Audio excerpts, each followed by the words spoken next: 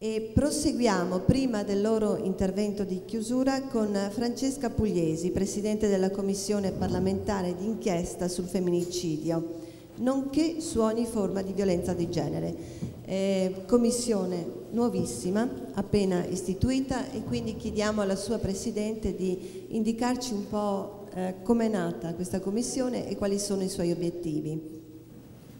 Bene, grazie innanzitutto eh, davvero di cuore per, per, questo invito e grazie soprattutto per il lavoro che in tutta Italia eh, state facendo come Soro Optimist. Io credo che la sussidiarietà, la capacità di fare rete fra associazioni e istituzioni a tutti i livelli eh, sia davvero fondamentale